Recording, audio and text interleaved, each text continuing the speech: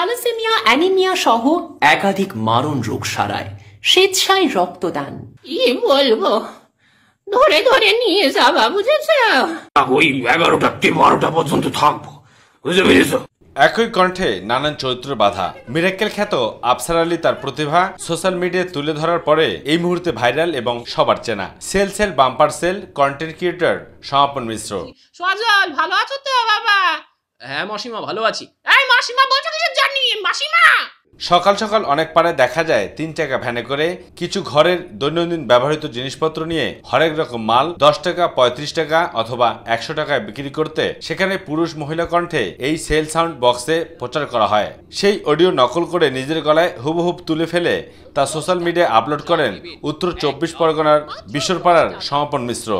ও দিদিরা বৌদিমণি দূরে দাঁড়িয়ে কি ভাবছেন? আমাদের প্রচার গাড়ি লক্ষ্য করে এগিয়ে আসুন আর পেয়ে যান। সংসারের সকল নিত্য প্রয়োজনীয় জিনিস মাত্র দশ টাকার বিনিময়ে। আসুন বাছুন দেখুন পছন্দ করুন। পছন্দ হলে তবেই সংগ্রহ করবেন। হরেক মাল মাত্র দশ টাকা।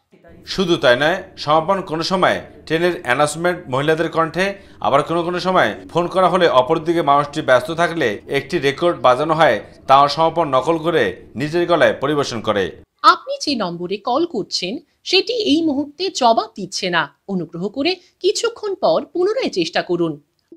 সমাপন ছোটবেলা থেকে তার মায়ের কাছে শাস্ত্রীয় সঙ্গীতে তালিম নেওয়া। পরবর্তীতে একজন শিক্ষকের কাছে শেখা। সমাপন নিজের সাথে সময় কাটাতে ভালোবাসে। স্বপ্ন রেডিও জকি হওয়ার। সেই কারণে রেডিও তার অন্যতম বন্ধু বলা যায়।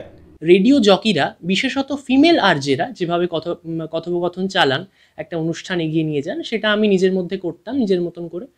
এবার পরবর্তী ক্ষেত্রে আমার মনে হলো যে why not male voice male RJ এবার তখন আমি শুরু করলাম এই ভাবনা থেকে মেল আরজে এবং ফিমেল আরজে এদের পারস্পরিক কথোপকথন চালালাম এবং তার সঙ্গে অন্যান্য ক্যারেক্টার ইন্ট্রোডিউস করলাম। দু হাজার বিশ সালে নিজে একটি ইউটিউব চ্যানেল তৈরি করে সেই সব কন্টেন্ট আপলোড করে দর্শকদের মন জয় করেছে ইতিমধ্যেই। ও যে কোনো কন্টেন্টই তৈরি করুক না কেন ফাইনালাইজ করার আগে আমাকে জিজ্ঞেস করে তারপর আমি বললে ঠিক বললে তারপর সেটাকে ও দেয় আর কি। রাত্রি তখন দুটো আড়াইটে তিনটে চারটেও ডেকে তুলে আগে ওটাকে মাকে শুনিয়ে তারপরে ও সন্তুষ্ট মা স্যাটিসফাই হলে মোটামুটি ও সমাপনের স্বপ্ন আর আর্য হওয়ার। আর সেই স্বপ্ন সার্থক করতে সমাপনের মরিয়ার চেষ্টা জারি অব্যাহত রয়েছে। আহ, অনুষ্ঠানের মূল পর্বে ঢুকে যাব। সজল কেমন লাগছে বলো? তোমার অনুষ্ঠানে এসে খুব ভালো লাগে তোমার পাশে বসে থাকা একটা অরা একটা একটা- ভাইব যেটা পাই সেটার জন্য আমার দারুণ লাগে। অবুসদপু মাই টিভি আমি না চটপট ফোন নাম্বারটা বলে দিই nine eight seven four five